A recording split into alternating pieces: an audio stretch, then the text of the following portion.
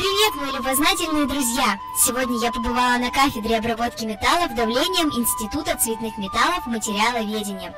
И сейчас я расскажу вам о том, что наши ученые делают для того, чтобы электропровода выдерживали любую температуру.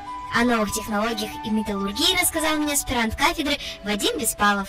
Основная идея работы заключается в использовании, применении технологии, принципиально новых технологий совмещенного литья, прокатки и прессования.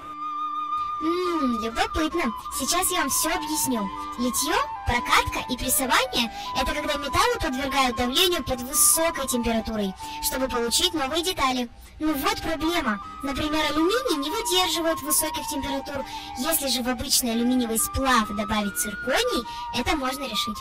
Традиционные методы изготовления деформированных полуфабрикатов из алюминия – это технология литья прокатки – они отличаются тем, что э, там степень, степень деформации гораздо меньше, интенсивность деформации в очаге деформации.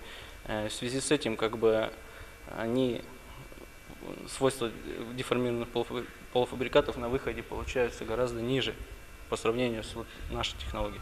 Новая технология позволяет проводам быть прочными и устойчивыми к любой температуре. А с вами была я, Белочка Кира. Пока-пока.